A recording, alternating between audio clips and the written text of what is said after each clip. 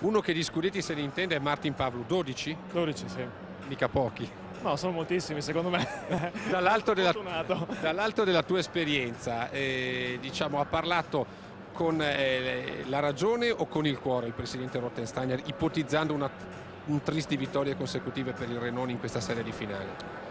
Ma no, certamente quello che lui si auspica, le potenzialità del Renault ci sono, ha un buon portiere, ha degli ottimi attaccanti, la squadra ha battuto in semifinale di Bolzano che dal punto di vista psicologico era molto importante per loro, perciò eh, se la possono certamente giocare. Oggi però la partita è molto importante, oggi è la partita che potrebbe decidere la serie perché Uh, mi sembra che l'Asiago sta solo aspettando il momento opportuno per, per, chiuderla, ha molte possibilità in avanti su contropiede e Renault giustamente deve aprirsi, deve cercare di fare la partita, però l'Asiago ha degli uomini molto molto pericolosi davanti. Qual è il giocatore o quali sono i giocatori simbolo di questo Asiago che in questo momento almeno sta mettendo le mani sullo scudetto?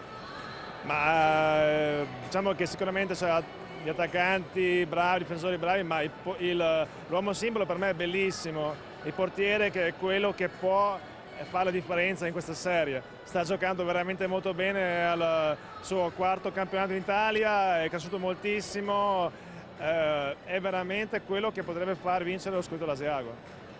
Sei consigliere federale, sei uomo diciamo, di federazione, allora vogliamo già tracciare un bilancio di questa stagione, di questo campionato. Che campionato è stato? Più luci o più ombre? No, un campionato molto interessante, moltissime belle partite, moltissime squadre che hanno giocato fino in fondo un buon hockey, abbiamo avuto certamente molte sorprese in semifinale, Brunico che aveva fatto una squadra molto forte quest'anno, è uscito contro l'Asiago, il Bolzano sempre forte come tutti gli anni, è uscito contro Renon, perciò anche molte sorprese non solo durante il campionato ma anche nei, nei playoff, perciò tutto sommato direi un ottimo campionato. Eh, si parla di un possibile futuro non soltanto nel nostro orticello italiano, torna ogni tanto eh, di, in voga la, quella che era l'Alpenliga negli anni 90, un possibile torneo con squadre austriache, magari slovene, ungheresi. L'hockey italiano oggi è pronto per confrontarsi con altre realtà a livello di campionati? Ma pronto, se, se si ha i soldi, se sai i soldi puoi fare molte cose, l'abbiamo visto anche in passato. Probabilmente oggi dovremmo cercare di guardare un po' più sui, eh, ai nostri rivali, che giocatori nuovi negli ultimi anni sono emersi pochissimi e la mia paura è che andando avanti così, comprando sempre stranieri, stranieri, stranieri, a un certo punto ci troveremo senza più giocatori nostrani. E Jan Pavlu come si sta comportando? Ma io sono molto felice di quello che sta facendo, sono molto contento. Jan Pavlu, eh, classe 1994, grande stagione ad Heilbronn con la squadra giovanile del Mannheim, esatto sì. in Germania.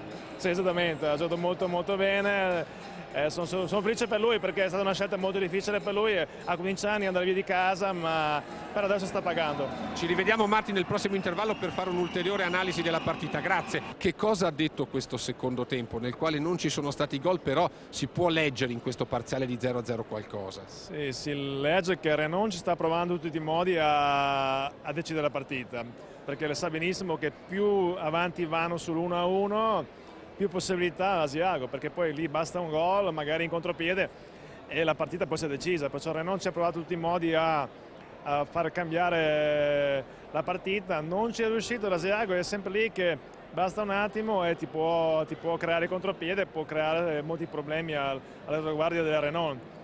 Dall'inizio della partita eh, Frisch, Gruber o forse Ivani via telefonino cosa sta cambiando le linee di minuto in minuto perché non ci sono punti di riferimento, tutti giocano con tutti.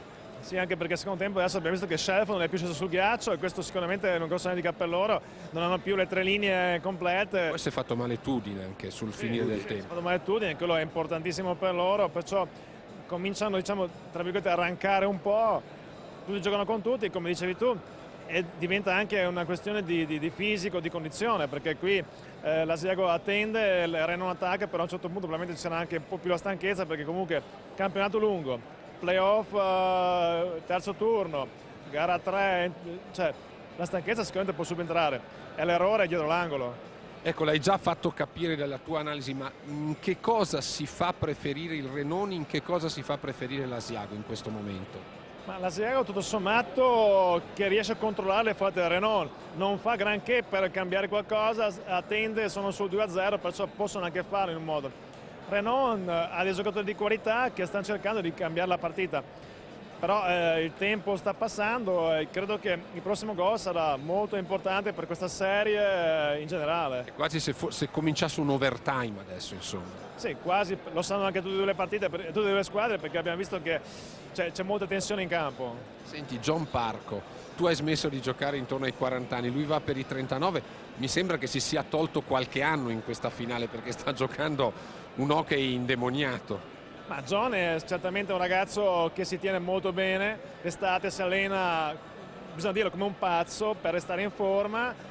E si vede, cioè, riesce a giocare ancora un buon hockey alla sua età, è ancora utilissimo alla propria squadra, ha certamente l'esperienza da parte sua di moltissimi campionati giocati in Italia e questo aiuta certamente anche a tutta la squadra. Ecco, ti chiedo un'ultima cosa e poi ti lascio andare sulla nazionale, visto che ormai il mondiale è alle porte, già sta per cominciare il primo vero raduno senza i giocatori delle finali. Ci sono eh, elementi molto giovani convocati, c'è Gander, c'è Marco Insam, c'è Matteo Tessari che abbiamo visto qui, ci sono i due fratelli Bernard. Ecco, tu saresti per un largo ai giovani o invece per puntare sull'esperienza nel tentativo di strappare una salvezza? Ma bisogna comunque cercare di strappare una salvezza, questo certamente, però magari inserire uno o due giovani che, che sentono l'odore del gruppo A, sentono atmos questa atmosfera di questo gruppo A, vedono giocatori tra i più bravi al mondo, è un'esperienza indimenticabile per ognuno di loro. Perciò inserire o magari portare qualcuno di questi giovani eh, con la squadra sarebbe molto importante per il futuro. Ad esempio un Matteo Tessari che sta giocando, direi da protagonista, una serie eh, di finale scritto, ha segnato anche, ha sbloccato il risultato in gara 2, merita in questo momento di entrare nei 25 perché poi ne porterà 25 in Germania a Cornacchia. Sai, è difficile, vede, vede eh, quello che gli può servire, sono molti giovani che potrebbero ambire a venire ai mondiali, probabilmente bisogna cercare anche di, di creare un due o tre ragazzi che vengono a fare da turisti, tra virgolette, e che hanno la possibilità di vedere dal vivo quello che è l'hockey mondiale, perché dimentichiamoci, non dimentichiamoci una cosa, che eh, a livello mondiale è un po' un'altra cosa di quello che giochiamo noi qui, bisogna dire la verità. È molto importante per i ragazzi capire dove si può arrivare.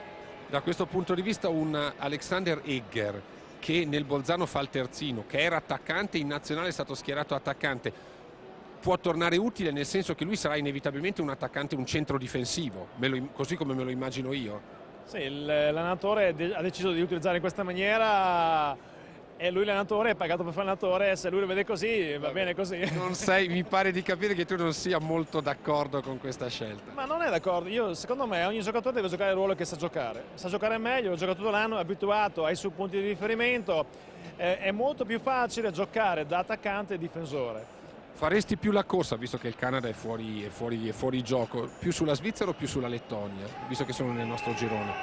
È una domanda molto difficile. Sicuramente la Svizzera, vista le Olimpiadi, è una squadra molto forte. Eh, patina bene, gioca anche duro, quello che magari nel passato gli veniva un po' rinfacciato. Abbiamo visto una partita col Canada bellissima. È difficile dirlo, bisogna giocarsela tutti e due secondo me essendo due nazionali che hanno già giocato l'Olimpiade che forse rappresentava l'appuntamento, l'obiettivo numero uno stagionale, non certo per le medaglie ma per fare bella figura, questo può essere un vantaggio per noi che abbiamo invece nel mondiale il nostro obiettivo numero uno? Ma sai, il mondiale è sempre una vetrina per tutti, sia per i lettoni che per i svizzeri che magari ambiscono di giocare chissà in un Ecel, perciò tutti cercano di fare bella figura e credo che la fame ce l'hai sempre, il mondiale è sempre un mondiale. Grazie allora a Martin Pavlu, 12 scudetti vinti da giocatore, ricordiamolo, ancora qualche istante di pausa per noi, poi il terzo tempo di Renon Asiago.